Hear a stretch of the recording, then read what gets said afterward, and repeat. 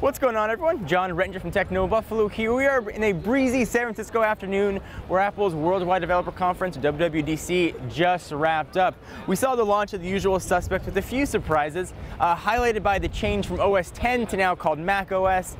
iOS 10 has been released for beta, so you know everything that that has to offer, as well as updates to Watch and Apple TV. Let me tell you about the highlights. Let's start with the big ones, and iOS 10. Your lock screen is going to now get infinitely more useful. First, when you lift up your phone phone to your face, you can see the notifications. Don't have to push a button to see what's in. The notifications you are going to see are going to be much, much, much richer, and you can interact with them much more than you could before. Messages, for example, give a 3D touch press, and the keyboard pops up to reply. You can view videos now directly from your lock screen. Most things you can do in-app, you can now do directly from the screen. A lot of new views here as well. Things like Control Center got a redo. Widgets are now in the Today view. Siri's getting way smarter here. I'm going to you the developer API business, but to say Siri is now hopefully going to be catching up with competitors from Microsoft and Google. Hundreds of new additions to iOS. If you want to know more about them, we've article on TechnoBuffalo that'll go into a ton more detail. But my favorite, one we spent the most time on, is messages. It is getting way better. They spent a lot of time talking about emojis. You can now make emojis three times bigger inside. You can emojify words.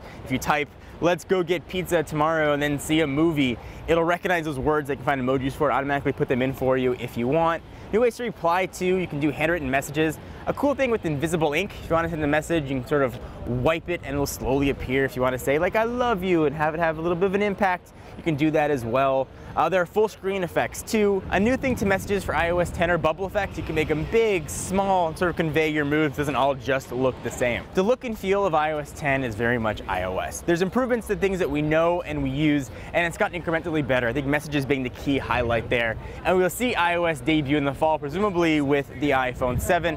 Public beta will be coming out in July. If you're a developer, you can download it today. Next, let's jump into OS 10, which got a rebrand. It is now appropriately called Mac OS, and this version is Mac OS Sierra. Ton of new features here as well. The highlights are auto unlock. You can use your Apple Watch or your phone to unlock your MacBook.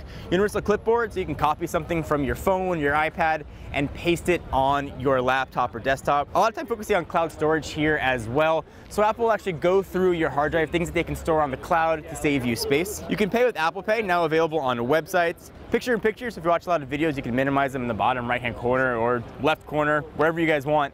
Uh, and that'll be there as well, so you can move them around and resize the window. But probably the biggest highlight and the one that's been missing from previous versions of OS 10, now Mac OS, is Siri. Siri is here on a desktop client. She's gonna work very much way you'd expect. Uh, the best feature for a lot of people is gonna be contextualized search. You can say, send me emails that Ron Parita sent me last week. You can go even further than that. You can send me emails that Ron sent me to talk about camera choices. You can get much more granular now with your searches. Uh, it's like Finder to the next level, uh, voice Finder, but Siri's here with all of her jokes and personality on board.